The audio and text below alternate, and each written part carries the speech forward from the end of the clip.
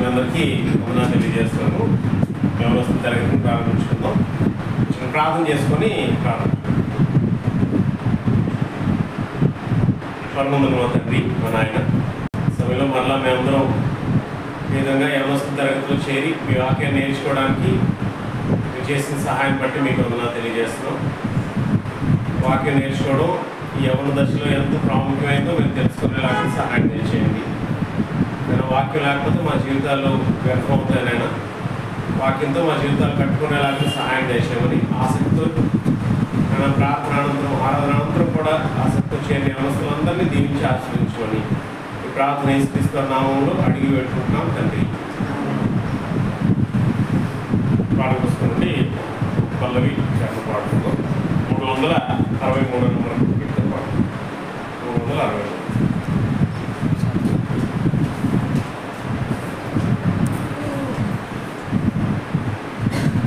వందనమునొద్దుమో ప్రభో ప్రభో వందనమునొద్దుమో ప్రభో ప్రభో వందనము తండ్రి తనయ శుద్ధాత్ముడా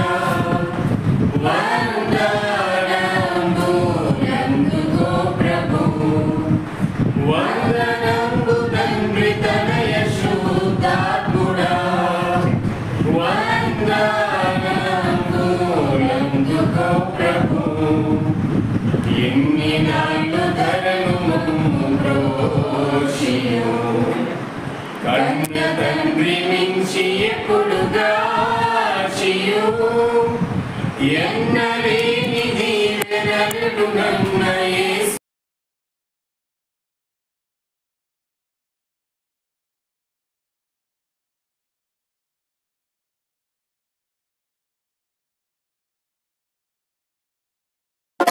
Yeni reto, so te mulivigo.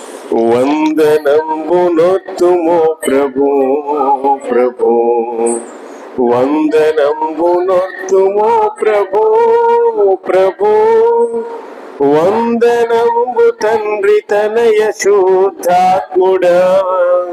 వందనంబులందుకో ప్రభు. వందనంబు తండ్రి తనయ శుద్ధాత్ముడా. వందనంబులందుకో ప్రభు. చ. ఈ సమయంలో మనం చేయించు మనం ఎక్కువ చ- ఎక్కువ సమయం వాక్యాన్ని నేర్చుకోవడానికి మనం కేటాయిస్తున్నాం. కాబట్టి తక్కువ సేపు మనం పాటలు పాడుతున్నాం. ప్రార్థన చేసుకొని మనం ముందుకెళ్దాం. రాజు వచ్చి ప్రార్థన చేస్తాం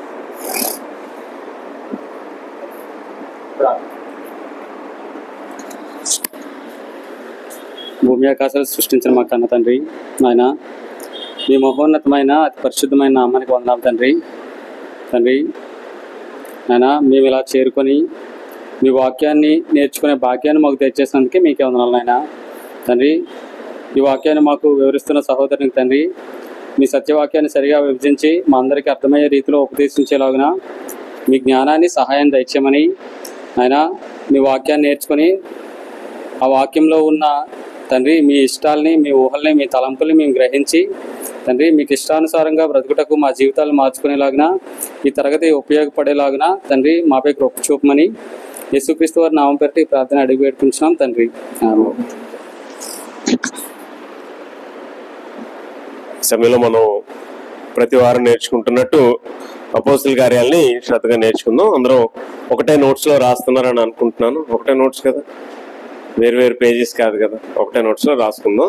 ఒకవేళ ఎప్పుడైనా మిస్ అయితే ఆ పేజ్ తర్వాత దాంట్లో పెట్టుకోండి. కానీ ఒకటే నోట్స్ వాడడానికి ఒక రెండు పెన్నులు రెండు మూడు పెన్నులు మెయింటైన్ చేయడానికి ప్రయత్నించేయండి రైట్. ఈ సమయంలో అన్నీ వచ్చి మనకి వాక్యాన్ని వివరించాల్సిందిగా కోరుతున్నాం.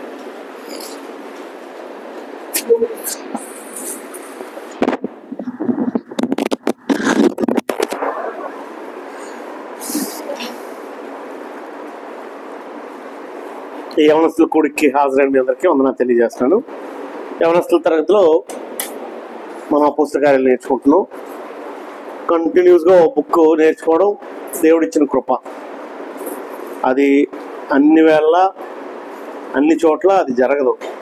అందుకు నేను మిమ్మల్ని కొంచెం ఒంటి గంటకి వెళ్ళి గాబరా గాబరాగా తిని మళ్ళీ ఎండలో రావడం కష్టమైంది. ఎస్పెషల్లీ నెక్స్ట్ టూ మంత్స్ ఇంకా టఫ్ ఉంటుంది. ఆయన కూడా మీకు ఒకవేళ టైమింగ్ ఏమైనా ఇబ్బందిగా ఉంటే చెప్పండి. కొంచెం అటు ఇటు మార్చుకుందాం. డే కానీ టైం టైం కానీ రైట్ అది ఎప్పుడైనా చెప్పండి. అది కొంచెం అంటే ఏ ఒక్కరు కాదు. కనీసం ఎక్కువ పర్సంటేజ్ అలా అనిపిస్తే అలా వెళ్దాం. ప్రస్తుతానికైతే త్రీ ఓ క్లాక్ కంటిన్యూ చేద్దాం అపోజిట్ కార్యాలు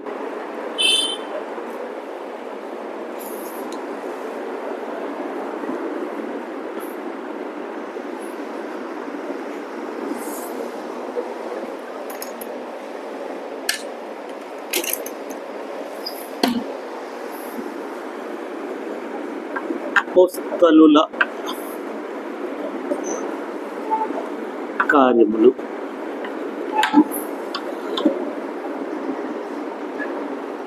అపోసల కార్యాలు రెండో అధ్యాయం చదువుతున్నాను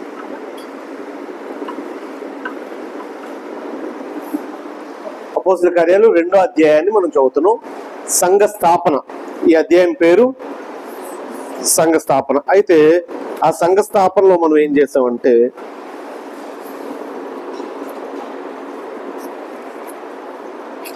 గత వారం అటెండ్ అయిన వాళ్ళు అపోస్తుల కార్యాలు. యేసు వాగ్దానం ఇచ్చాడు ఎరుసలేంలో ఉండమని. పైనుండి శక్తి మీ మీద మీ మీద పంపు వరకు మీరు పట్టణం విడిచి వెళ్ళిపోద్ది అన్నాడు. అపోస్తులు కనిపెట్టుకొని ఎరుసలేంలో ఉన్నారు. నిజంగా యేసు చెప్ చెప్పినట్టే శక్తిగా పరిశుద్ధాత్మ అగ్ని అగ్ని రూపాన్న వారి మీద వాలడం లేదా వారికి అనుగ్రహింపబడడం జరిగింది. అప్పుడు అంటే నేను నీళ్ళతో బాప్తీసేస్తున్నాను కానీ తర్వాత వచ్చేవాడు అగ్నిలో బాప్తీసేస్తాడని యోహాన్ చెప్పాడు. అది ఇక్కడ నెరవేరింది. అప్పుడు అక్కడ ఒక సూచక్రియ జరిగి ఎరుసలేం వాసులందరూ భక్తి గల యూదులందరూ ఇదేంటి అని వచ్చారు. కొంతమంది దేన్నైనా కామెంట్ చేస్తారు. మీరు ఎలా ఉన్నా కామెంట్ చేస్తారు. మీరు తలదించుకొని వెళ్తున్నారు అనుకో దాన్ని తలెత్తుకొని వెళ్తే దాన్ని కామెంట్ చేస్తారు. తన తలదించే భక్తి కారిపోతుందని అంటాడు. పోనీ ఇలా తలెత్తుకున్నాను కాబట్టి తలెత్తుకున్నాను కాబట్టి పొగరు అంటున్నారని తలదించుకున్నారు అనుకో దాన్ని కామెంట్ చేస్తారు. ప్రతి దాన్ని వంకరగా వేరేగా చూసేవాళ్ళు ఎప్పుడూ ఉన్నారు. నేను నేను ఈ మధ్య ఏదో ఒక స్టోరీ చూశాను. ఒక భర్త భార్య మీద చూసారు? ఒక భర్త భార్య ఒక డాంకి అనేసుకొని వెళ్తూ ఉంటే ఆ ఫూలిష్ ఫెలో ఫెలోస్ వీళ్ళకి ఆ ఎలాగ వాహనాన్ని లేకపోతే ఆ గాడిదని ఎలా వాడుకోవాలో తెలీదు. ఆ ఇద్దరు నడిచి వెళ్తున్నారు దాని ఎవరైనా ఎక్కొచ్చు కదా అని అన్నారు. అప్పుడు ఇలాగ అంటున్నారు ఏంటి? అని చెప్పేసి భర్త ఏం చేశారంటే భర్త ఎక్కి భార్యని నడిపించుతున్నాడు. ఇద్దరు ఎక్కితే ఇబ్బంది పడుతుందని. ఆ ఎంత పౌరుషం అదే పౌరుషం కాదు. దాన్ని ఏమంటే స్వార్థం. స్వార్థం గల భర్త అలా ఆవిడ నడిపించేసి వాడు ఎక్కుతున్నాడు. అని అనగానే అయితే నిజమేనేమో అని అతను దిగిపోయి ఆవిడని ఎక్కించి నడు నడిపిస్తుంటే అలా ఆవిడ చూడు భర్త అక్కడ ఉంటుండగా ఆవిడ ఎక్కి కూర్చొని ఆడిని వెనకాతలు నడిపిస్తుంది అని ఇంకొంతమంది కొంతమంది ఇంకొంత దూరం వెళ్ళిన తర్వాత కామెంట్ చేస్తారు. సరే అలా కాదు. వీళ్ళకి సరిగ్గా ఉపయోగించుకోవడం రాదు. ఇద్దరు ఎక్కించి వెళ్ళొచ్చు కదా అని అంటే ఇద్దరు ఎక్కి వెళ్ళిన తర్వాత ఇంకొకటి ఆవిడ ఎదురవుతాడు. మీరు చూసే ఉంటారు ఇది ఇమేజ్ వీళ్ళకి అసలు సహృదయమే లేదు. ఇద్దరు ఎక్కి గాడిద మీద కూర్చున్నారు లేదా గుర్రం మీద కూర్చున్నారు. దాన్ని జీవహింస పాపం అని తెలియని కఠినాత్ములు ఇల్లు అని. ఆ ఏం చేయాలో తెలియక ఆ గా ఆ గాడిద వాళ్ళు వదిలేసినట్టుగా లేకపోతే తోసేసినట్టుగా కనిపిస్తున్నారు.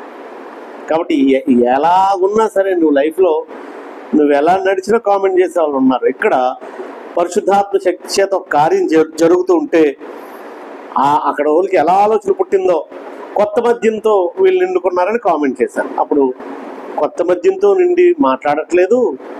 పరిశుద్ధాత్మ యవనులకి అందితే వారు ఆత్మకృపావరం చేత వారు భాషలు మాట్లాడతారు ప్రవచించెదరు. అనే ప్రవచనం యోవేలు రెండో అధ్యాయం ఇరవై ఎనిమిదో వచ్చిన చెప్పాడు చెప్పాడు యోవేలు. ఆ ప్రవచనం దీన్ని బట్టే నెరవేరుతుందని దానికి కావాల్సిన ఆన్సర్ ఇచ్చాడు. ఇచ్చిన తర్వాత ఇప్పుడు పేతురు నిలబడి ప్రసంగం చేస్తున్నాడు. ఇది ప్రాముఖ్యమైన సంగతి. పేతురు ప్రసంగం. అపోస్తుల కార్యాలు రెండో అధ్యాయంలో పేతురు చేసిన ప్రసంగాన్ని ఈరోజు మనం చూద్దాం. పేతురు చేసిన ప్రసంగము.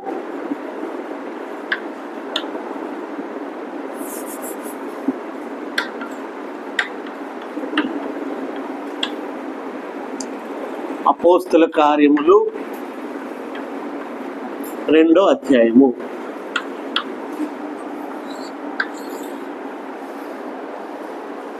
పేతురు చేసిన ప్రసంగం ఇస్రాయిల్లారా ఈ మాటలు వినుడి. ఇరవై రెండో వచ్చిన నుంచి. అంటే ముందు వాళ్ళు ఏమన్నారో? ముందు వాళ్ళు ఏమన్నారో? కిటికీ పడింది నా వైపు చూడండి. ముందు వాళ్ళు ఏమన్నారో? మద్యం తాగేసి మాట్లాడుతున్నారు అనే దానికి సమాధానంగా మేమే మద్యం తాగలేదు. ఆత్మ వలన ఆత్మ కుమరింపబడడం వల్ల ఈ పని చేస్తున్నామని వాళ్ళకి ఆన్సర్ చేసి ఇప్పుడు ఏ సువార్త అయితే చేయాలనుకుంటున్నారో ఏ ప్రసంగం అయితే చేయాలనుకుంటున్నాడో పేతురు ఆ సబ్జెక్ట్కి వచ్చాడు. ఇరవై రెండో వచ్చిన నుంచి ముప్పై ఆరో వచ్చిన వరకు ఈ సంగతి ఉంది. అపోసల కార్యాలు రెండో అధ్యాయం ఇరవై రెండు రెండో వచ్చిన నుంచి ముప్పై ఆరో వచ్చిన వరకు ఇరవై రెండు నుంచి ముప్పై ఆరో వచ్చినాలు పేదరు ప్రసంగం ఉంటుంది. మీరు ఎవరైనా ఇంతకు ముందు ఎప్పుడైనా ఈ సబ్జెక్ట్ మీరు చెప్పలే చెప్పుండ్రలే. ఎప్పుడైనా విన్నారా? పేతురు ప్రసంగాన్ని సపరేట్గా చేశారా? అవునా? పేతురు ప్రసంగాన్ని ఈరోజు మనం స్టడీ చేద్దాం. ఇస్రాయేల్ ఇస్రాయేల్ వాళ్ళారా ఈ మాట వినుడి అని స్టార్ట్ చేశాడు. ప్రసంగంలో స్టార్టింగ్ సంబోధన.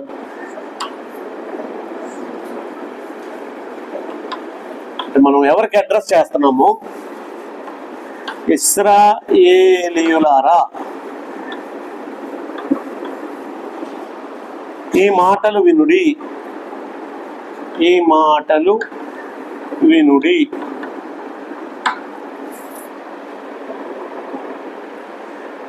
ఇప్పుడు తను తను ఏం చెప్పాలనుకుంటున్నాడో ఎగ్జాక్ట్గా దాన్ని డెలివరీ చేస్తున్నాడు అపోజిట్ అయిన పేతురు. అయితే నాకు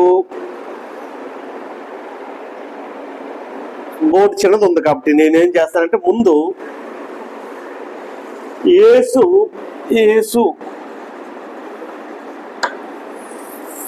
క్రీస్తు ఈ మాటలకు అర్థం తెలుసుకొని ఏసు అంటే ఆ మాటకు అర్థం? ఏసు అనగా ఏ- అనగా రక్షకుడు అని అర్థం. రక్షకుడు. క్రీస్తు అనే మాటకు అర్థం అభిషిక్తుడు. ఎవరికైనా ఏదైనా సమస్య ఉంటే చెప్పండి. ఇది అంటుందా అంటుతుందా మీకు? లేదు కదా. యేసు అంటే రక్షకుడు క్రీస్తు అంటే అభిషిక్తుడు. అంటే రక్షించడానికి అభిషేకం పొందినవాడు అని అర్థం.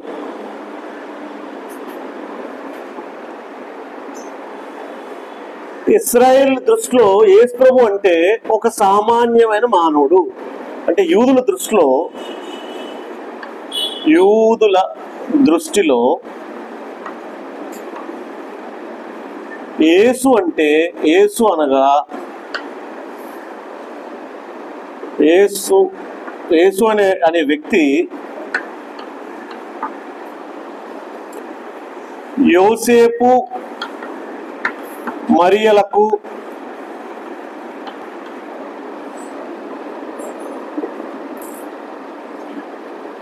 జన్మించిన ఒక సాధారణ యూదుడు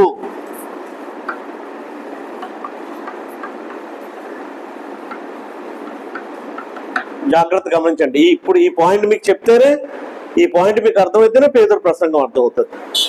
యేసు ప్రభు అంటే వాళ్ళకి ఇప్పుడు ఇప్పుడు ఫర్ ఎగ్జాంపుల్ మీకు. ఇప్పుడు సచిన్ అనే వ్యక్తి ఉన్నాడు. సచిన్ సచిన్ ఎలా చూస్తుంది భారతదేశం అంతా? ఒక గొప్ప సెలబ్రిటీగా ఒక గొప్ప నైపుణ్య క్రీడాకారుడిగా. ఇప్పుడు అతను అతనికి ఇంత పేరు లేదనుకోండి మామూలుగా సచిన్ అన్నోడు ఏం చేద్దరు ఎక్కడో? ఆ ఏదో చిన్న కిల్లి బడ్డీలో అంటే సచిన్ కిల్లి బడ్డీలో పొట్లాలు కట్టుకుంటాడంటే మనం ఊహించలేము. ఆ ఫేమస్ రాకపోతే ఎలా ఉంటాడు? ఒక సామాన్యంగా ఉంటాడు. ఫేమస్ అవ్వకముందు. యేసు అనే వ్యక్తి గురించి యూదుల యూదుల అభిప్రాయం ఏంటంటే యోసేపు మరియలకు జన్మించిన ఒక సాధారణ యూదుడు. అదే వాళ్ళు యేసు ప్రభు ఒకడు మామూలు సాధారణ వ్యక్తి. ఇంకా ఇంకా కాకపోతే కొంచెం ఏవో ఆ దేవుని మాటలు చెప్పుకొని తిరిగే వ్యక్తి. కానీ క్రీస్తు అనేది యూదుల దృష్టిలో ఏంటి తెలుసా? యూదుల దృష్టిలో క్రీస్తు అనేవాడు మామూలుడు కాదు. క్రీస్తు అని అంటే సాక్షాత్తు దేవుని కుమారుడు లేఖనాల్లో ప్రవచించబడినోడు దావీదు కుమారుడుగా వచ్చి రాజ్యం చేయబోయేవాడు అని లేఖనాలు చెప్తున్నాయి. ఇతడు క్రీస్తు అనగా మెస్సియా మెస్సియా అని అర్థం అంట. ఈ మాట ఎవరికి పడితే వాళ్ళకు వాడితే యూదులు తట్టుకోలేరు. దేవుని కుమారుడు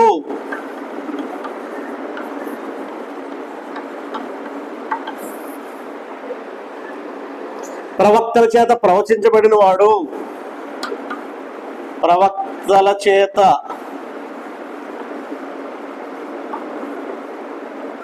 ప్రవచింప ప్రవచింపబడిన వాడు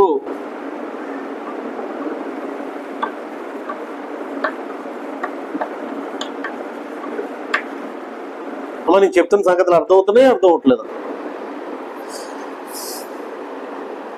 దావీదు కుమారుడు అంటే దావీదు కుమారుడుగా సింహాసనాసీనుడవు అయ్యేవాడు దావీదు కుమారునిగా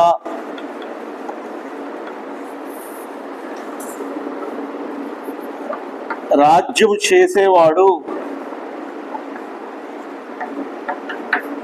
అంటే దేవుడు ముందు నుంచి తన కుమారుణ్ణి దావీదు వంశం నుంచి వచ్చే దావీదు లాంటి రాజుని మీకు పంపిస్తాను. ఆయనే మెస్సియా. మీ ఆదరణకర్త మిమ్మల్ని రక్షించేవాడు అని వాగ్దానం చేశాడు. ఆ వాగ్దానాన్ని ప్రవక్తల ద్వారా ప్రవచింపజేశాడు. క్రీస్తు వస్తాడు దావిద కుమారుడు వస్తాడు చిగురు అనేవాడు పుడతాడు మిమ్మల్ని మిమ్మల్ని పరిపాలిస్తాడు మిమ్మల్ని ఏలుతాడు. కాబట్టి ఇస్రాయేల్ అందరూ ఈ క్రీస్తు అనే ఆయన గురించి ఎదురు చూస్తున్నారు. ఆ క్రీస్తు అనేవాడు పుడతాడు కాబట్టి రాజుగా వస్తాడు. అప్పుడు ఈ కాలంలో ఎవరు పరిపాలిస్తున్నారు ఇస్రాయేలీల్ని? రోమరాజులు. రోమా ప్రభుత్వం యొక్క అధికారం నుంచి మమ్మల్ని విడిపిస్తాడు. క్రీస్తు వస్తే దావీదు లాంటి గొప్ప రాజ్యం మళ్ళీ స్థాపిస్తాడని ఎదురు చూస్తుంది క్రీస్తు క్రీస్తు కోసమే. కానీ ఈ నజరేతులు పుట్టిన సామాన్యుడు క్రీస్తు అని అంటే మాత్రం యేసు అనేవాడు సామాన్యుడు. పేద కుటుంబంలో పుట్టాడు. ఆ సరిగ్గా ఇల్లు కూడా లేదు. యేసు ప్రభు కూడా ఏమన్నాడంటే నక్కలకి బొరియలు బొరియలు అనే వాటి ఇల్లు ఆకాశ పక్షులకి గూడ్లుంటాయి. మనుషు కుమారుడైన నాకు తలవాల్చుటకేను చోటు లేదంటే నాకు ఏ- ఏది సంపాదించలేదు భూమి మీద ఆయన. వీళ్ళు వీళ్ళే ఊహించారంటే రాజు అంతఃపురం మామూలుగా దిగడం పైనుంచి దిగడం దిగడం రెండో రాకుండా యేసు ప్రభుని మనం ఎలా ఊహిస్తున్నాం? రెండో రాకడలో ఇప్పుడు ఎవడో ఇదిగో శ్రీకాంత్ నగర్ మూడో సందులో యేసు ప్రభు వచ్చాడు అంటే మీరు మీరు ఒప్పుకుంటారా? ఒప్పుకోరు. ఆయన ప్రధానతో శబ్దంతో రావాలి ఆర్భాటంతో రావాలి ప్రపంచం అంతా తెలిసినట్టుగా రావాలి. అది అది వాస్తవం. అయితే వీళ్ళు కూడా అదే ఇమాజినేషన్లో ఉండిపోయారు. అది ఇప్పుడు ఇప్పుడు ఎవడైనా అలా వచ్చాడంటే యూదులు నమ్మలేనట్టుగా మీరు నమ్మకుండా ఉండిపోకుండా నమ్మండి అని నేను చెప్పను. మనకు వాగ్దానం ఉంది ఏసుప్రభు అలాగే వస్తాడు. ప్రపంచం అందరికీ తెలిసినట్టుగా వస్తాడు. వీళ్ళు కూడా కనీసం కనాన్ దేశం అంతా పాలస్తీన్ అంతా యోదయ దేశం అంతా తెలిసేటట్టుగా గొప్ప రాజుగా వస్తాడు. అవసరమైన అందరినీ జయించేస్తాడు. దేవుడి చేత ప్రవచింపడిన ప్ర- రాజు ఇతనే ఇతనే రాచరికంగా ఉంటాడని. అందుకే ఏసుప్రభు పుట్టినప్పుడు జ్ఞానులు వస్తే ఎక్కడికి వెళ్ళారండి వాళ్ళు డైరెక్ట్గా? అక్కడ అప్పుడు పరిపాలిస్తున్న ఆ ప్రాంతపు గవర్నర్ అయిన హేరోదు రాజు మహాహేరోద్ దగ్గర డైరెక్ట్గా వెళ్ళిపోయి రాజు పుట్టాడంట ఎక్కడ పుట్టాడు ఎక్కడ పుట్టాడు అన్నారు. ఆలు రాజు అంటే మౌదికమైన రాజే అనుకున్నారు. కానీ ఇతనేమో సామాన్యంగా చెక్క పని చేసుకునేవాడు పుట్టాడు. సాధారణమైన బట్టలు వేసుకొని సాధారణంగా ఉంటే అతన్ని అతన్ని అతన్ని రాజు అని అంటే వాళ్ళ మనసు అంగీకరించలే. అందుకోసమే యేసు ప్రభు ఆ, ఎక్కడైనా ఏదైనా కార్యం చేస్తే నువ్వు దేవుడు కుమారుడివి అని ఎవరైనా అంటే దేవుడు కుమారుడు అని క్రీస్తు అనే మాట ఎక్కడి ఎక్కడ ఎవరికి చెప్పొద్దు అన్నాడు. ఎందుకనంటే క్రీస్తు అనే సంగతి బయలుపడి బట్ట బయలు అయిపోతే ఆయన చంపేస్తారనే సంగతి ఆయనకు తెలుసు. వాళ్ళు ఆయన ఆయన భౌతిక సంబంధమైన రాజ్యాన్ని స్థాపించడానికి రాలేదు. అందుకే మీకు ఉదాహరణ ఇది. ఆయన క్రీస్తు అనే మాట ఒప్పుకోగానే ఒక ఆయన బట్టలు చింపేసుకున్నాడు. ప్రధాన యాజకుడు. మత్తేసు వార్త వచ్చరించి చదువుదాం. మత్తేసు వార్త ఇరవై ఆరు. మత్తేసు వార్త ఇరవై ఆరు. అంటే చాలా వచనాలు ఉన్నాయి కానీ పేదరు ప్రసంగం ముందుకెళ్ళడం అందుకే యేసు ప్రభు నేను క్రీస్తుని చెప్పొద్దు క్రీస్తుని చెప్పొద్దు అనే వచనాలు చాలా దగ్గర ఉంటాయి. కొంతమంది మాత్రం గమనించి నువ్వు క్రీస్తువు అని గమనించారు. కొంతమందికి మాత్రం ఆయన బయలుపరుచుకున్నాడు. అందరికీ చెప్పలేదండి. ఆయన యేసుగారు యేసుగానే లేకపోతే కొందరు ప్రవక్త అనుకున్నారు. కొందరు ఏలియా లాంటి ప్రవక్త అనుకున్నారు. కొందరు మరేదో ప్రవక్త అనుకున్నారు. అప్పుడు శిష్యులను అడిగాడు మీరేమనుకుంటున్నారు? అని. అప్పుడు పేతురు ఆన్సర్ చేశాడు నేమని అన్నాడు సజీవుడు అయిన దేవుని కుమారుడు అయిన క్రీస్తువు నువ్వు నువ్వు మెస్సియవని మేము మేము నమ్ముతున్నాము అని అంటే చాలా హ్యాపీ ఫీల్ అయ్యాడండి ఆ రోజు. అట్లీస్ట్ నేను దేవుని కుమారుడని వీళ్ళు వీళ్ళు నమ్ముతున్నారు. మత్తేశ్వర ఇరవై ఆరో అధ్యాయం ఎన్నో వచ్చినండి చెప్పాను నేను. అరవై మూడు. ఈ వచ్చిన చదవండి. అంటే ఈ కాన్సెప్ట్ తెలియకుండా పేద ప్రసంగం మనకు అర్థం కాదు. ఏస్ అనేది మనం ఇప్పుడు రెండు కలిపేసి జీసస్ క్రైస్ట్ ఏసు క్రీస్తు అనేస్తున్నాము. యూదుల దృష్టిలో యేసు అనేవాడు సామాన్య మానవుడు సాధారణ యూదుడు. మనతో పాటు పెట్టే పురిగే పెరిగాడు కదా. ఆ వడ్రంగి వాడి కుమారుడు కాడా? ఇతను యేసు కాదా? అన్నారండి. అంతే తప్ప వాళ్ళ దృష్టిలో క్రీస్తు అనేవాడు వస్తాడు. క్రీస్తు కోసమే ఎదురు చూస్తున్నారు. వచ్చినోడిని ఏ వచ్చినోడిని క్రీస్తు అని అనుకోలేదు వాళ్ళు. అది వాళ్ళ సమస్య. చదవండి.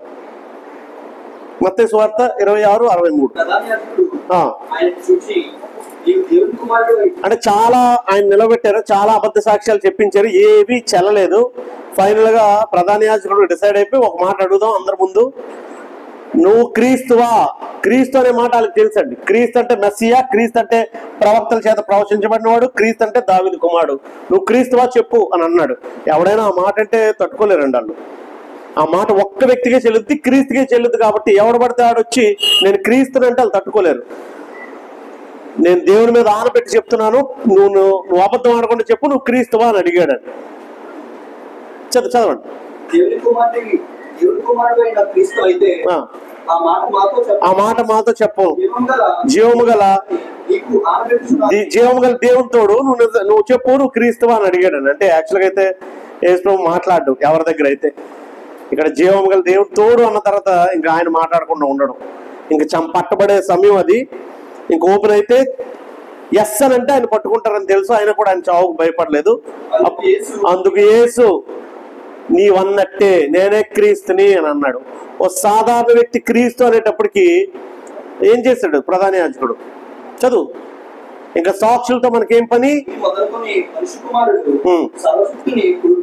దేవుని కుడి పార్శ్వన కూర్చోవడం మీరు చూస్తారో మేఘారుడే వచ్చుడు మీరు చూస్తారని చెప్పాడు. అంటే నేను క్రీస్తుని అని చెప్పాడు. అప్పుడు ప్రధాన యాజకుడు తన వస్త్రాలు చింపుకొని ఇంకా సా ఇంకేమి? ఇంకా సాక్షులతో పనేమి? ఇక్కడ మాట్లాడుతున్నది ఏంటి ప్రధాన యాజకుడు తల్లి చచ్చిపోయినా పిల్లలు చచ్చిపోయినా వస్త్రాలు చింపుకోకూడదు. ఎమోషనల్ అవ్వకూడదు. తన వస్త్రాలు ఎప్పుడు ప్రధాన యాజకుడు చింపకూడదు. అలాంటిది నిండు సభలో ప్రధాన యాజకుడు వస్త్రాలు చింపాడు అని అంటే "ఆ" అన్నాడు అనమాట అని చింపాడు. ఇంకా ఇంకా ఇంకా ఇంకా ఆ- ప్రధాన యాజకుడు వస్త్రాలు చింపిన తర్వాత సిలువ కూడా ఆగను అందుకే ఇతను చంపాలి అని అనుకున్నారు. ఎందుకు ఆయన క్రీస్తు అని ఒప్పుకున్నందుకు అధికారికంగా. కాబట్టి క్రీస్తు అనేదేమో యూదులు ఎదురు చూసేవాడు. యేసు అనేవాడేమో వారి దృష్టిలో సామాన్యమైన వాడు. మనకు తెలుసు యేసు ప్రభుయే లేదా ఏసే క్రీస్తు అని. ఇప్పుడు పేతురు తన ప్రసంగంలో ఉన్నోళ్ళందరూ యూదులు కాబట్టి ఓ యూదులారా ఏసు గురించి మీకు తెలుసు. మీ మధ్య పెరిగి మీ మధ్య పుట్టి మీ మధ్య మొన్న సిరివై పడ్డాడు. క్రీస్తు గురించి మీకు తెలుసు. ప్రవక్తలందరూ ప్రవచించారు. మీ పూర్వీకుడైన దావీదు ప్రవచించాడు. యష్యా ప్రవచించాడు. కాబట్టి క్రీస్తు గురించి కూడా మీకు తెలుసు. ఈ ఏసే క్రీస్తు అని నిరూపించడమే ఆయన ఉద్దేశం. సో ఆ ప్రసంగంలో ఈ ప్రసంగంలో పేతురు యొక్క ఉద్దేశం ఏంటంటే ఏసే క్రీస్తు అని ఇది నేను చేర్పిస్తానే ఏసే క్రీస్తు. సో ఇప్పుడు మనం ఏం చేద్దామంటే ఏసు ప్రభు గురించి ఏం చెప్తున్నాడు? క్రీస్తు గురించి ఏం చెప్తున్నాడు పేతురు? ఏసే క్రీస్తుని ఎలా నిరూపిస్తున్నాడో చూపిద్దాం. ఓ పక్కేమో ఎల్హెచ్ఎస్ ఓ పక్కేమో ఆర్హెచ్ఎస్. దీన్ని దీంతో ఎలా ప్రూవ్ చేస్తున్నాడో చూద్దాం. అది పట్టుకుంటే జరుగుట్లో పారిపోతుంది ఎందుకు? టైము. సమ తక్కువ నాలుగు. ఇంకా లోపలికి వెళ్ళలేదు. అపోసుల కార్యాలు రెండో అధ్యాయం. ఇరవై రెండో వచ్చిన ఒక్కొక్క వచ్చినాన్ని చదువుతూ ఎలా ప్రూవ్ చేస్తున్నాడో చూద్దాం. అది- ఇది ఇది అయితే మాత్రం నాకు చెప్పే ఇరవై రెండో వచనంలో అంటే దేవుడు ఏం చేశాడంటే ఏసు చేత ఇక్కడ ఏసుకు సంబంధించిన విషయాలు రాద్దాం.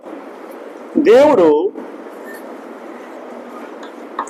దేవుడు ఏసు చేత ఏసు చేత చదవండి మీరు. ఇది ఈ మాట వినుడి. నజరేయుడు ఏసు చేత అంటే మీరు చూసిన నజరేయుడు. అద్భుత అద్భుతములు. ఇక్కడ యాక్చువల్ రాసుకుంటే నజరేతులో పుట్టిన యేసు. యేసు చేత నజరేతులో పుట్టిన వాడైనా నజరేతు వాడు. లేదా నజరేతులో పుట్టలేదులేండి బెత్లహేంలో పుట్టాడు. నజరేతు వాడైనా ఒకటి. నజరేతు వాడైన యేసు చేత అద్భుతములు అద్భుతములు మహాత్కార్యములు మహత్కార్యములు ఆ సూచక క్రియలు. అంటే దేవుడు ఏసు చేత ఆ ఏసు కూడా ఎవరంటే నజరేతులో మీరు చూసిన ఏసు ప్రభు చేత అద్భుతాలు మహత్కార్యాలు సూచక్రియలు చేశాడు. అది చేయించి ఆయనను ఆయనను అంటే ఏసు యేసుని. యాక్చువల్ యేసు అనే వాడను నేను యేసు ప్రభు అంటాను. యేసు ప్రభుని ప్రభు అని వాడకూడదు యాక్చువల్గా. ఇప్పుడు నిరూపిస్తున్నాం కాబట్టి ఏసు అనే అనాలి. జనరల్గా ఏసు అని కొత్తగా అనలేము. ఏసు ప్రభుని అది ఏసుని తన వలన మెప్పు పొందిన వాడిగా మీకు కనపరిచను. ఇది మీరే ఎరుగుదురు. కాబట్టి ఇది జరిగిందా? దేవుడు ఇవన్నీ చేసి యేసు ప్రభుకి ఏం కలుగు చేశాడు? ఇవన్నీ చేసి ఏం ఏం కలుగు చేశాడండి? మెప్పు. గణ గణపరిచాడు యేసు ప్రభు గణపరచబడ్డా లేదా? యోదయ దేశంలో ఆ ప్రదేశం అంతట్లో యేసు ప్రభు ఈ కార్యాలు చేయడం వల్ల తండోపతండాలుగా జనాలు వచ్చారు. ఆ సంగతులకు అక్కడ ఉన్న వాళ్ళే సాక్షులు. అక్కడ ఉన్న వాళ్ళు కొంతమంది కొంతమంది భౌతిక నేత్రాలతో యేసు ప్రభుని చూసిన వాళ్ళే. జస్ట్ టూ మంత్స్ బ్యాక్ యేసు ప్రభు అనేక కార్యాలు యోదయలో చేసినప్పుడు వాళ్ళు చూసిన వాళ్ళే. లాజర్ని బతికించడం అందులో చూసిన వాళ్ళు ఉన్నారు ఉన్నారు.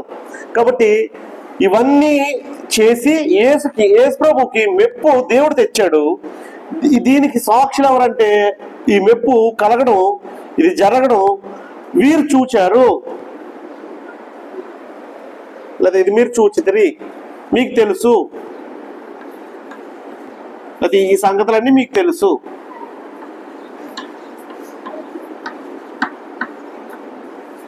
ఇది కాదంటారా? కాదండి. ఇప్పుడు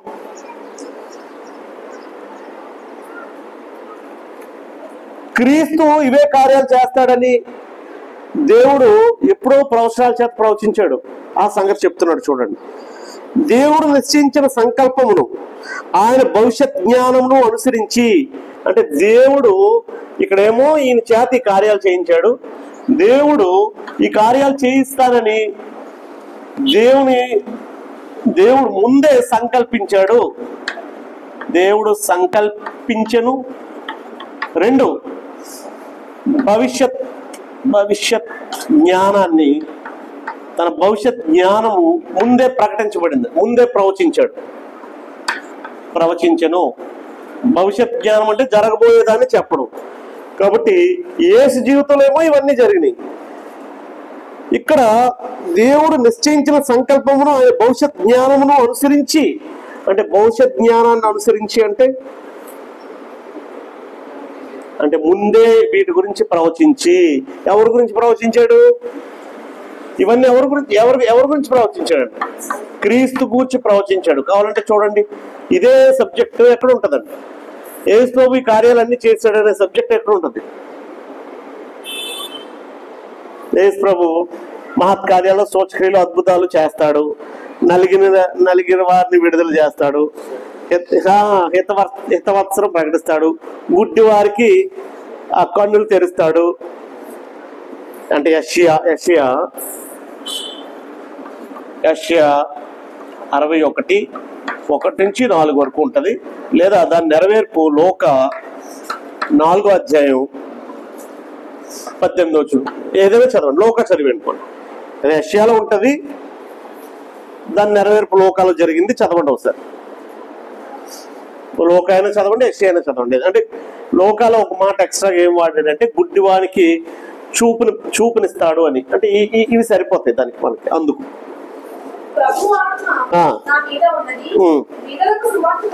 బీదలకు సువార్త ప్రకటిస్తాము.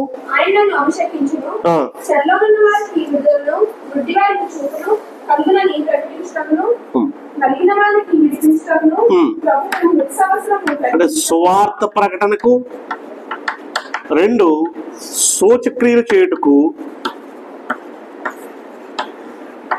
నాకు అధికారం ఇవ్వబడింది అనే మాట ఇది ఎగ్జాక్ట్గా దీంతో సరిపోద్దండి. నేను నాది కిందకు వచ్చేసింది మీరు స్ట్రైట్గా దీంతో ఇది రాసుకోండి.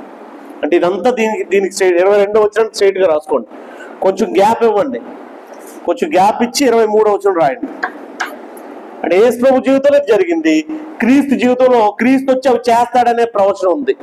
క్రీస్తు జీవితంలో ఈ ప్రవచనం జరిగింది. ఏసు ప్రభు జీవితంలో ఈ కార్యాలు జరిగినాయి. అలాగా. తర్వాత ఇరవై మూడు వచ్చిన.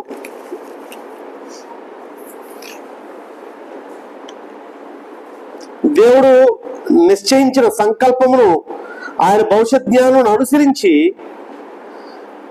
అప్పగింపబడిన ఈయనను మీరు దుష్టుల చేత సిలువు వేయించితిరి అంటే ఇది ఇది సంకల్పించడం అనేది ఎక్కడ రాయాలి నేను యాక్చువల్గా పైన రాశాను పర్వాలేదులేండి. దేవుడి గురించి ఈయనను అంటే ఎవరండి? ఈయనను ఏసు ప్రభు గురించే మాట్లాడుతున్నాడు ఇక్కడ. ఈ ఈ కాలంలో రాసుకోవాల్సింది. యేసును సిలువు వేసి మీరు చంపితిరి. అది వాళ్ళకి తెలుసా లేదా? సిలువు వేసి చంపితిరి.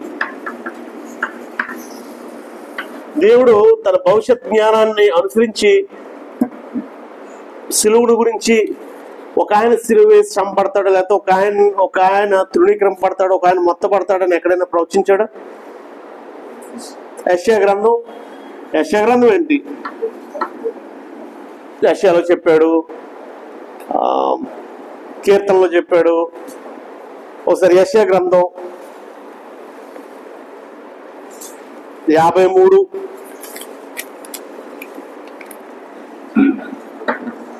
ఐదు తొమ్మిది వచ్చిన చదవండి. యశ్యా గ్రంథం యాభై మూడు ఐదు తొమ్మిది వచ్చిన మన అతిక్రమములను బట్టి అతడు గాయపరచబడను. మన దోషములను బట్టి నలుగుకొట్టబడను మన సమాధానమైన శిక్ష అతని మీద పడను. అతడు పొందిన దెబ్బల చేత మనకు స్వస్థత కలుగుతుంది అంటే యేసు ప్రభు మరణం గురించి ప్రవచనాలు లేవండి? మరణం గురించి. అనేక ప్రవచనాలు ఉన్నాయి. కాబట్టి క్రీస్తుని గురించిన ప్రవచనాలు అవన్నీ ఏసు జీవితంలో నెరవేరిని అది అది తెలియజేస్తూ వస్తాడు. తర్వాత ఇరవై నాలుగో వచ్చిన ఇరవై నాలుగో వచ్చిన మరణము ఆయనను బంధించి ఉండట ఉం. అసాధ్యం కనుక ఉం. దేవుడు మరణ వేదన తొలగించి ఆయనను లేపాడు మరణ వేదనలు తొలగించి ఆయన నుండి ఎవరిని? యేసును లేపెను. ఇప్పుడు మరణవేదలు తొల- తొలగింపబడి లేపబడుతుంది అని ఎవరి గురించి ప్రకటించాడు అని అంటే కీర్తనలు పదహారు అధ్యాయం ఎనిమిది నుంచి పది వచనాల్లో ఎవరి గురించో రాయబడింది. మరణం నుంచి తిరిగి లేపబడతాడు అతను అని. చదవండి. సదాకాలము యెహోవా యందు నా గురి నిలుచున్నాను. ఆయన నా ఉన్నాడు అంతా. నేను తలచబడను. అంటే అన్నిట్లో మనకు కావాల్సిన పాయింట్ నీవు నా ఆత్మను కుళ్ళు పట్టనీవు నీవు నా ఆత్మను కుళ్ళు పట్టనీయవు కుళ్ళు పట్టనీయవు. అంటే ఎవరినైనా సమాధిలో పెడితే మన దేహం ఏమవుతుందండి? పెట్లో పెడుతున్నాం కదా బాగా సెంట్లేసి పూలు జల్లి ఏమవుతుంది దేహం? ఏ నువ్వు ఎన్ని సెంట్లు రాయి ఏ ఏ నువ్వు ఎన్ని వస్త్రాలు కప్పు కొంతమంది అంటే మీరు చూసే ఉంటారు మా తాతగారు ఎప్పుడు సూట్ వేసుకునే ఉండేవారండి. మా నాన్నగారు టై కట్టుకోకుండా ఎప్పుడు ప్రసంగం చేయలేదని. అంటే నేను ఫన్నీగా చెప్తున్నాను అనుకోద్దు కొత్త సూట్ కొనేసి సూట్ వేసి షూ వేసి అలా పెట్లో పడుకోబెడతారు. ఎప్పుడైనా చూసారా?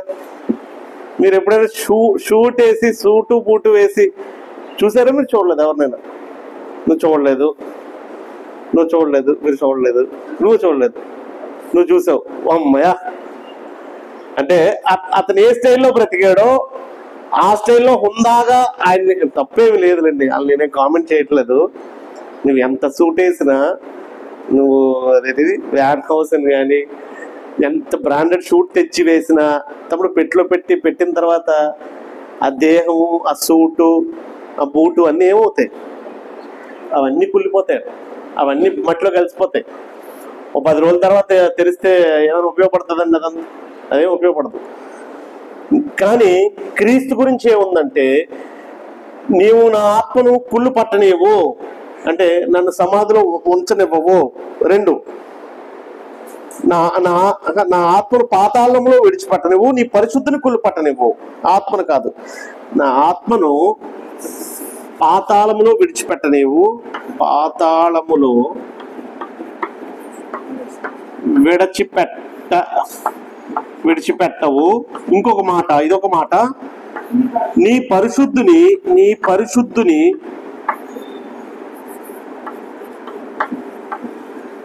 పరిశుద్ధిని కుళ్ళు పట్టనీయవు. కుళ్ళు పట్టనీయవు.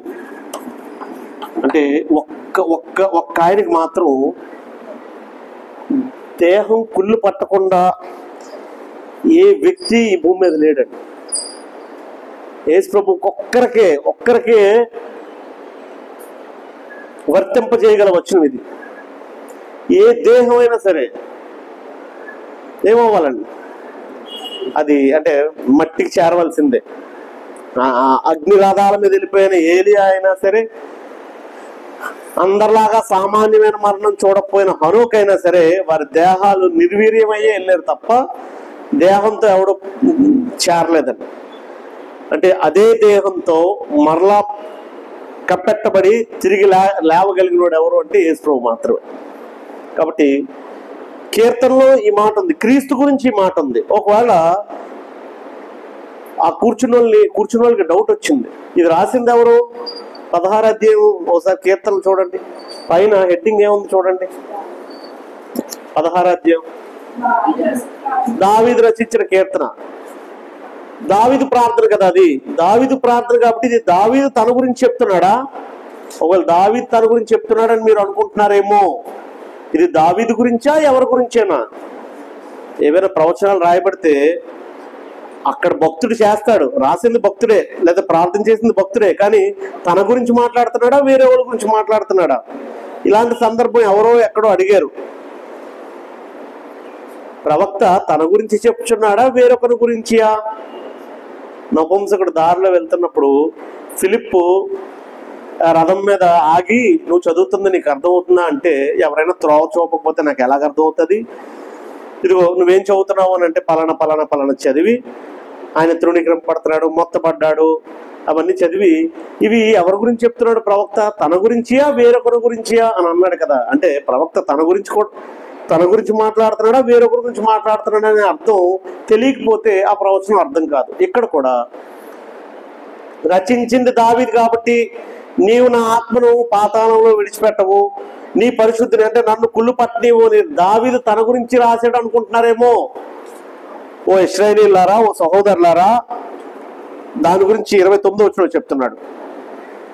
అంటే ఇదంతా వచ్చిన అంతా ఇరవై ఎనిమిది వరకు ఉంది. ఇరవై తొమ్మిది వచ్చినలో మూల పురుషులకు దావీదును కూర్చి నేను ధారాళంగా మాట్లాడవచ్చును.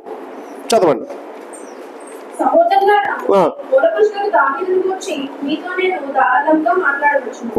అతను చనిపోయి సమాధి చేయబడింది. ఆ, అతని సం- అతని సమాధి నేటి వరకు మన మధ్య ఉన్నది. ఉమ్. అతని ప్రవక్తే అతడు ప్రవక్తే. దావీదు ప్రవక్త కాబట్టి ఈ కిందన మీరు రాసుకోండి. దా ఇక్కడ రాయొద్దు. నా ప్లేస్ లేక రాయట్లేదు. దావీదు దావీదు ప్రవక్త కాబట్టి ప్రవక్త ప్రవక్త కనుక ప్రవక్త ఏం చేస్తాడు?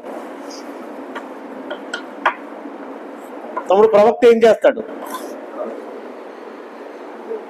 భవిష్యత్తును ప్రకటిస్తాడు. దావీదు ప్రవక్త కాబట్టి జరగబోయేదాన్ని ముందుగా ప్రక ప్రవచించాడు. దావీదు ప్రవక్త కాబట్టి జరగబోయే దాని గురించి ప్రవచించాడు. ఒకవేళ దావీదు తన గురించి ప్రవచించాడు అనుకుంటున్నారా? సహోదరులారా మూల పురుషులకు దావీదుని గురించి నేను మీతో ధారాళముగా మాట్లాడవచ్చును. యూదులకు దార గురించి తెలుసా తెలీదా? అతడు చనిపోయి సమాధి చేయబడను. అతడి సమాధి నేటి వరకు మన మధ్య ఉంది. అంటే దావీదు దావీదు సమాధి వాళ్ళకి తెలుసు. దావీదు సమాధి. ఒక దావీదు తన దేహం గురించి మాట్లాడుతున్నాడా? దావీదు తన దేహం గురించి మాట్లాడితే దావీద్ సమాధి ఎక్కడుందో వాళ్ళకి తెలుసా తెలీదా? ఎక్కడుంది దావీద్ సమాధి? యోదయలోనే ఎరుసలేములో ఉంటది. ఒకవేళ బెత్లహేంలో పాతి పెట్టారేమో దావీది దావీది ఎరుసలేంలో పాతి పెట్టారంటారు కదా? ఎరుసలేంలోనే ఎరుసలేం రాజుగా ఉన్నప్పుడు తన కుమారుడైన సొలోమోన్తో అన్ని జాగ్రత్తలు చెప్పి చనిపోయాడు కాబట్టి దావీదు సమాధి ఇప్పటికీ అంటే వారు అపోజిట్ గారి రెండో అధ్యాయానికి వారి మధ్య ఉందంట. తమ్ముడు గొప్ప గొప్ప సమాధి ఉంటుందా? అలా ఉండదా మీరు ఎవరైనా గొప్ప వాళ్ళ సమాధి దగ్గరికి ఎవరైనా వెళ్ళారా? వెళ్ళలేదు. అంటే సమాధి దగ్గరికి వెళ్ళరు. ఇటు సావు దగ్గర కప్పెట్టినోడిని చూడరు. నీకు నేను వేదాంతం ఏం చెప్తాను? ఆ, చెన్నైలో ఎవరు? రాజీవ్ గాంధీ సమాధి దగ్గరికి కానీ ఎన్టీఆర్ సమాధి దగ్గరికి కానీ పోనీ గీతం కాలేజ్ దగ్గర మన అమ్మయ్యా! గీతం కాలేజ్ దగ్గర ఆయన గోల్డ్ స్పాట్ మూర్తి గారు అంటారు. గీతం కాలేజ్కి హెడ్ ఆయన. గీతం హాస్పిటల్స్కి అన్నిటికి అన్నిటికీ. అక్కడ ఒక సమాధి పెద్దది ఆయన కేటాయించారు. అలా కొన్ని గొప్ప గొప్ప వాళ్ళకి ఆ సమాధి అలా ఉంచేస్తారు. మనకంటే అక్కడ కప్పెట్టేస్తారు. మళ్ళీ దాని మీద తవ్వేసి మనకు సమాధులు కొనుక్కునేంత స్తోమత కూడా మనకు లేదు. మనం పూడ్చిన దగ్గర పూర్తి చేస్తారు మీరు వరి అయిపోద్ది. నాకు కూడా పెద్ద సమాధి ఉండాలని అవసరం లేదు. అంతకన్నా శ్రేష్టమైన స్థితి ఇచ్చాడు. అయితే గొప్పోళ్ళకి సెలబ్రిటీస్కి ఏంటంటే అక్కడ సమాధి ఉంటుంది. దావీదు సమాధి నేటికి అక్కడే ఉంది. దావీద్ పాతి పెట్టడం వాళ్ళకి తెలుసు. వాళ్ళ పితరులకు తెలుసు. ఆ సమాధి ఎక్కడుందో వాళ్ళకి తెలుసు. ఏ రోజు సమాధి బద్దలై దావీదు బయటకు రాలే. కాబట్టి దావీదు గురించి ఈ ఈ ఈ లేఖనాలు దావీదు తన గురించి రాసుకున్నాడా? కాదు. దావీదు సమాధి మీకు మీకు తెలుసు దావీదు మీ మధ్య ఉన్నాడు కాబట్టి దావీదు తన గురించి చెప్పుకోలేదు ఎవరి గురించో చెప్పాడు. ఆ ఎవరో కాదు. దావీదు తన తన వంశం నుంచి రాబోయే క్రీస్తు గురించి. అతడు ప్రవక్త ప్రవక్త అయి ఉండను గనుక అతని గర్భవాసంలో నుండి సింహాసనం మీద కూర్చుండబెట్టుదును అని దేవుడు ఏ క్రీస్తు గురించి అయితే మాట్లాడాడో అని దేవుడు తనతో ప్రమాణపూర్వకంగా ఒట్టు ఒట్టు పెట్టుకున్న సంగతి అతడు ఎరిగి క్రీస్తు పాతాళంలో విడువబడలేదనియు. ఈ కింద రాసుకోవాలి మీరు. క్రీస్తు పునరుత్నం గురించి మాట్లాడుతున్నాడు.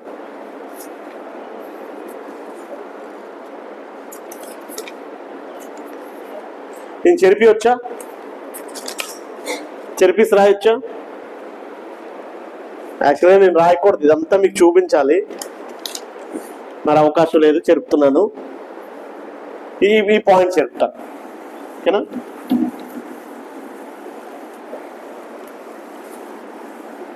మీరు కిందకి రాసుకోండి. మీరు కిందకి రాసుకోండి. క్రీస్తు పాతాళం ఇది దావిది గురించి కాదు. దావిది తన గురించి చెప్పట్లేదు. క్రీస్తు పాతాళములో విడవబడలేదు.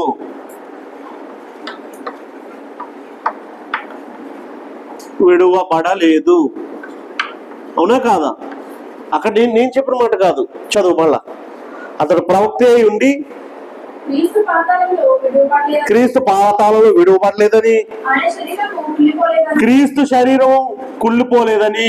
కుళ్ళి కుళ్ళిపోలేదు. పోలేదని.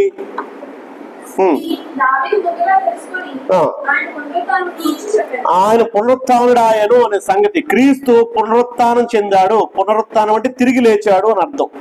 పునరుత్డై డాయను. ఆయన పునరుత్నుడాయను అని దావీదు లేఖను దీనికి సాక్ష్యం. దావీదు లే- సాక్ష్యం ఏంటి? అంటే దేని గురించి దేనితో దీన్ని మాట్లాడతారంటే దావీది సాక్ష్యం దావీది లేఖనం సారీ దావీది లేఖనం. దావీది దావీది కాదు అది దేవుడిది. దావీది రాసిన లేఖనమే దీనికి ఆధారం లేదా సాక్ష్యం కాదు ఆధారం. క్రీస్తు గురించి క్రీస్తు పునరుత్నం గురించి క్రీస్తు పాతాలలో విడవబడలేదని కుళ్ళిపోలేదని ఆయన పునరుత్న ఆ, అయ్యాడనే అనే లేఖనం దావీద్ది.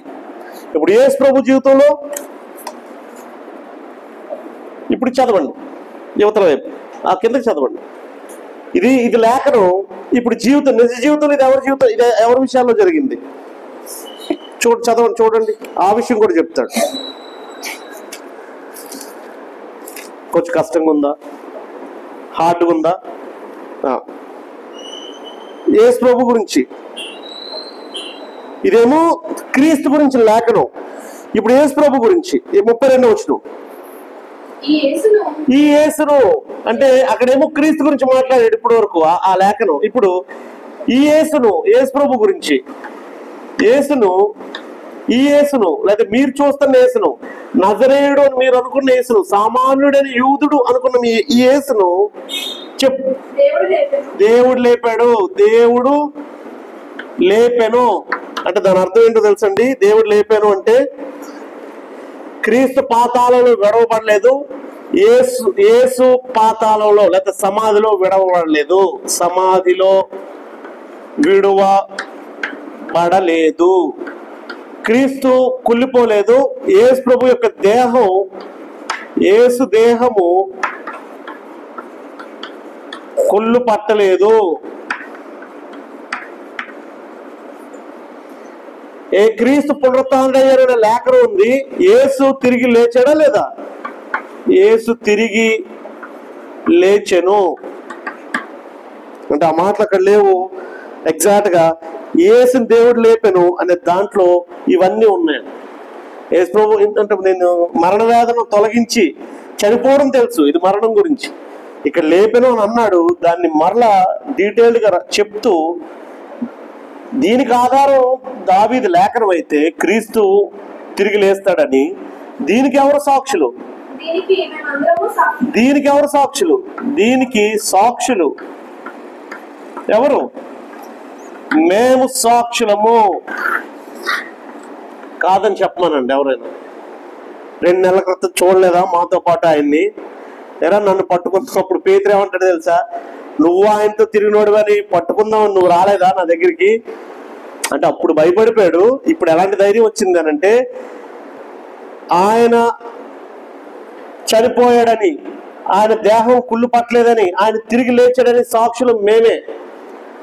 ఆయన జీవించలేదని ఎవరైనా చెప్తారు అక్కడ ఉన్నోళ్ళు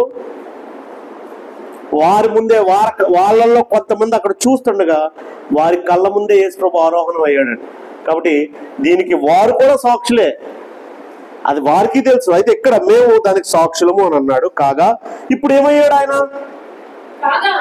వాళ్ళకి డౌట్ రావచ్చు మరి. తిరిగి లేచినోడు ఇప్పుడు ఏమయ్యాడు? ఒకవేళ తిరిగి లేచినోడు అనే డౌట్ ఉందేమో? మీలో కొంతమంది మాతో పాటు ఉన్నారు. మేమందరం చూస్తుండగా ఆయన అలా ఆరోహణ ఆరోహణుడై దేవుడి దగ్గరికి వెళ్ళిపోయాడా లేదా? కాబట్టి ఈ చనిపోయిన తర్వాత తిరిగి లేచిన తర్వాత ఇప్పుడు ఎక్కడున్నాడనే క్వశ్చన్ వాళ్ళ వాళ్ళ మైండ్లోకి వస్తుంది. కాగా ఆయన దేవుని కుడిపార్శ్వములకు హెచ్చింపబడి దేవుని కుడి పార్శ్వమునకు హెచ్చింపబడి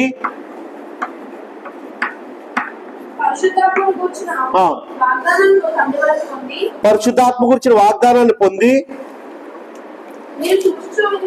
అంటే దేవుని వాగ్దానం చేసిన పరిశుద్ధాత్మని పంపించాడు. వాగ్దానము చేసిన పరిశుద్ధాత్మను పంపెను. కాబట్టి ఇప్పుడు మీరు చూస్తున్నారే మేము భాషలో మాట్లాడడం. ది ఈ శక్తిని కుమ్మరించింది ఆయన. ఆ మాట వాడాడు చూడండి. మేమందరం చూస్తాడుగా ఆయన అలా ఆరోపణుడయ్యి దేవుని కుడిపార్శానికి హెచ్చింపబడ్డాడు. మాకు వాగ్దానం చేసిన పరిశుద్ధాత్మను మాకు అనుగ్రహించి మీరు చూ చూచు వినుచున్న దీనిని అక్కడ దీనిని అంటే పరిశుద్ధాత్మ కాదు పరిశుద్ధాత్మ శక్తిని. ఎందుకంటే పరిశుద్ధాత్మని ఎప్పుడు ఆయననే సంబోధించాడు. ఇక్కడ ఒక్క దగ్గరే దీనిని అని ఉంటుంది. దీనిని అంటే పరిశుద్ధాత్మ అనుకోవద్దు. మీరు చూస్తున్న ఈ శక్తిని పరిశుద్ధాత్మ శక్తిని ఆయన మాకు అనుగ్రహించాడు. కాబట్టి అంటే నేను చెరిపేశాను. సారీ నజరేతులో పుట్టిన యేసు ప్రభు చేత దేవుడు సూచక్రియలు చేయించాడు. ఇక్కడేమో యేసు ప్రభు సూచక్రియలు చేస్తాడనే ప్రవచనం ఉంది. క్రీస్తు చేస్తాడని. యేసు ప్రభు సం- చంపబడ్డాడని. క్రీస్తు చంపబడతాడనే ప్రవచనం ఉంది. నేను చెరిపేశాను అదంతా మీకు చూపించాలి యాక్చువల్గా. మీరు నోట్స్లో రాసుకోండి. ఆయన క్రీస్తు పాతాలలో కుళ్ళు పట్టబడ్డు అనే ప్రవచనం ఉంది. ఇదిగో ఏసు కూడా కుళ్ళు పట్టలేదు. దీనికి ఆధారం దావీది లేఖనం అయితే దీనికి సాక్ష్యం మేము. ఇప్పుడు ఆయన కుడిపార్సలు హెచ్చించబడి దేవుడి దగ్గర ఉన్నాడు మాకు ఇది పంపించాడు. మేము నేను పైకి వెళ్ళి మీకు పంపిస్తానని మాకు చెప్పాడు. ఎగ్జాక్ట్గా క్రీస్తు గురించి కూడా ఇలాంటి ప్రవచనం ఎందుకు చూడండి? అని చెప్పి కీర్తనలు నూట పది చాలా వచనాల దగ్గర ఈ- ఈ- ఇది వాడాడండి. ఇప్పుడు ఏమో దేవుని కుడిపార్శానికి హెచ్చింపడి మా- మేము చూస్తుండగా ఆరోహణం అయ్యాడు క్రీస్తు గురించి కూడా ఇలాంటి ఇలాంటి ప్రవచనమే ఒకటి ఉంది దావీది ఎప్పుడు పరలోకానికి ఎక్కిపోలేదు. దావీది ఎప్పుడైనా పరలోక రాజ్యానికి వెళ్ళిపోయి పైకి వెళ్ళిపోయాడా? కానీ పరలోక రాజ్యంలో ఉన్న సంగతిని గురించి మాట్లాడుతూ ఒక వచ్చిన రాశాడు. ఆగిపోయిందా? రైట్. నీ నే అతడు ఇట్లా నేను నేను నీ శత్రువులను నీ పాదములకు పాదముల కింద పీఠముగా ఉంచే వరకు నీవు నా కుడి పార్శ్వంలో కూర్చుండమని ప్రభు నా ప్రభుతో చెప్పాను. ఇది ఇదేమైనా అర్థమైంది ఎవరికైనా? యహోవా దేవుడు తండ్రి అయిన దేవుడు యేసు ప్రభుతో ఒక మాట చెప్పాడంట. నీ శత్రువులందరినీ ఇదిగో ప్రభువు అంటే తండ్రి అయిన దేవుడు ప్రభు అంటే దేవుడు. కుడి పార్శాన్ని అంటే ఎటు అనుకుందాం ఇలా ఉంటే ఇటువైపు అనుకుందాం. తండ్రి అయిన దేవుడు ప్రభు అక్కడ ప్రభు అంటే దేవుడు తండ్రి అయిన దేవుడు లేదా తండ్రి అని రాస్తాను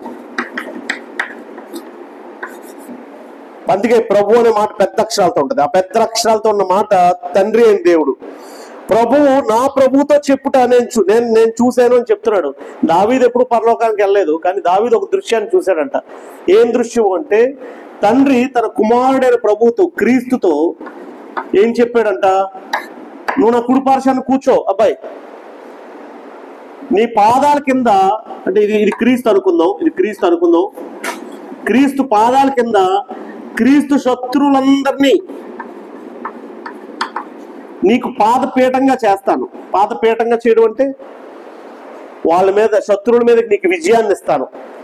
నీ శత్రువుల మీద నీకు విజయాన్ని ఇచ్చే వరకు నువ్వు నా కుడిపార్శాన్ని కూర్చో అని తండ్రి ప్రభువు నా ప్రభుతో చెప్పుట నేను చూచానని దావీదు ఈ దర్శనాన్ని చూసినట్టుగా ఈ దావీదు అనేవాడు అక్కడ నిలబడి ఇతను ఇతనితో ఏదో చెప్తున్న విషయాన్ని చూసినట్టుగా మాట్లాడుతున్నాడు. తండ్రి అయిన ప్రభు నా ప్రభుతో నా కుడిపార్శాన్ని కూర్చొని చెప్పటం నేను చూస్తున్నాను అని రాశాడు. దావీది ఎప్పుడు పరలోకానికి వెళ్ళలేదు. కానీ ప్రవ ప్రవక్త కాబట్టి తన గురించి మాట్లాడట్లేదు. క్రీస్తు గురించి మాట్లాడుతున్నాడు అని. సో క్రీస్తు జీవితంలో కూడా ఆయన ఆరోహణుడై తండ్రి దగ్గర తండ్రి కుడిపార్శాన్ని కూర్చుంటాడని రాయబడి ఉంది ప్రభు జీవితంలో కూడా అది నెరవేరింది. అంటే ఆయన ఏం చెప్పదలుచుకున్నాడంటే ఎన్ని విషయాలు రాశారా మీరు? ఒకటి. చెప్పండి.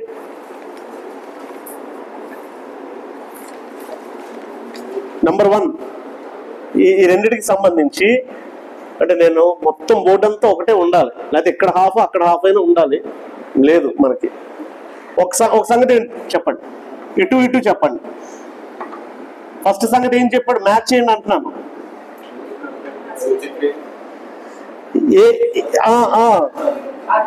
అద్భుతాలు సూచక్రియలు ఏ ప్రభు చేత జరిగినాయి నంబర్ వన్ క్రీస్తు చేత అవన్నీ జరుగుతాయనే ప్రవచనం ఉందా లేదా? మ్యాచ్ అయిందా లేదా? నంబర్ టూ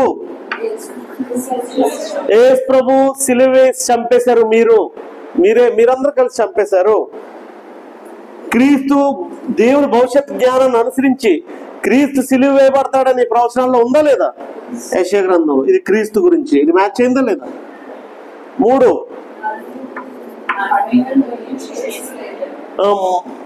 ఆయన ఆయన్ని సమాధి బంధించలేదు సమాధి సమాధి నుంచి ఆయన తిరిగి లేచాడు. సేమ్ అదే ప్రవచనం యేసు ప్రభు గురించి ఉంది. ఆయన ఆయన కుళ్ళు పట్టడని ఆయన సమాధిలో ఆయన దేహం కొల్లదని క్రీస్తు గురించిన ప్రవచనం ఉంది. యేసు గురించి కూడా అది నెరవేరింది. అవునా కాదా? అని లేఖను నెరవేరుస్తూ ఇదిగో క్రీస్తు పాతాలను విడవబడలేదు కుళ్ళిపోలేదు పునరుత్డు అయ్యాడు. దేవుడు యేసు ప్రభు ఈ- యేసును దేవుడు లేపడు అన్నాడు. ఈ యేసును అంటే మీరు నమ్మే యేసును అది అది అంతే ఇదే మాట ఇదే థర్డ్ విషయం అది. కానీ ఎక్కువ డీటెయిల్డ్గా చెప్పాడు కాబట్టి యేసు ప్రభు సమాధిలో విడవబడలేదు క్రీస్తు గురించి కూడా అదే ప్రవచనం ఉంది. యేసు ప్రభు దేహం కొల్లు పట్టలేదు క్రీస్తు కూడా పునరుత్థానం అవుతాడనే ప్రవచనం ఉంది. దీనికి సాక్షులు ఎవరు అంటే మేమే. దీనికి దీనికి ఆధారం ఏంటంటే లేఖనమే. కాబట్టి దావీదు రాసిన లేఖనం నిజమైంది అయితే యేసు ప్రభు జీవితంలో జరిగింది అక్షరాల అదే. పోనీ ఇప్పుడు ఎక్కడున్నాడంటే మీ కల్లారా మీరు చూస్తుండగానే ఆయన ఆరోహణ అయ్యాడు. దేవుని కుడిపార్శానికి హెచ్చం పడ్డాడు. ఆ హెచ్చం పడ్డం అంటే ఆరోహణం అని అర్థం అండి. ఇది ఆరోహణం ఆరోహణం గురించి. ఆరోహణము. ఆరోహణం మేము కళ్ళారా చూసాం. యాక్చువల్గా దీనికి మీరు మీరందరూ సాక్షులు మీరందరూ అనే మాట ఎక్కడ ఉంది. అంటే దీన్ని మీ- మీరు చూశారు అనే మాట.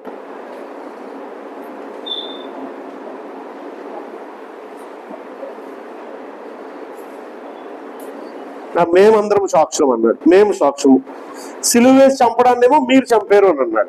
ఆ సరే ఇక్కడ రెండు ఇరవై రెండవ వచ్చిన ఇది మీరే ఎరుగుదురు అనే ఒక మాట ఆ మాట గురించే. ఇరవై రెండవ వచనంలో ఆయన శోచక్రియలు అద్భుతాలు చేశాడు అనే దానికి ఇది మీరే ఎరుగుదురు ఏసు ప్రభు ఆ- క్రియలు చేశాడో చేయలేదా? వాళ్ళు ఏసు ప్రభు చేత స్వస్థత పొందిన వాళ్ళు ఉన్న- ఉంటారా తమ్ముడు అక్కడ? ఇది మీరే ఎరుగుదురు కాదని చెప్పమనండి అక్కడ ఎవరైనా ఎవరినైనా.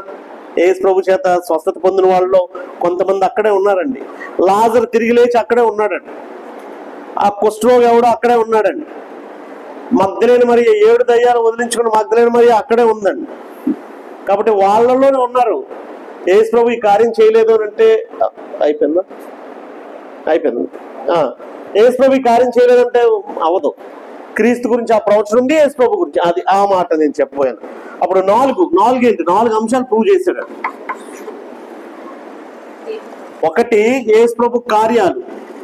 యేసు కార్యాలు. ఇక్కడ కూడా ప్రవచించబడ్డాయి. ఇక్కడ మరణం. యేసు మరణం. తర్వాత ఆయన సమాధిలో ఉంచబడలేదు. ఆయన సమాధి గురించి.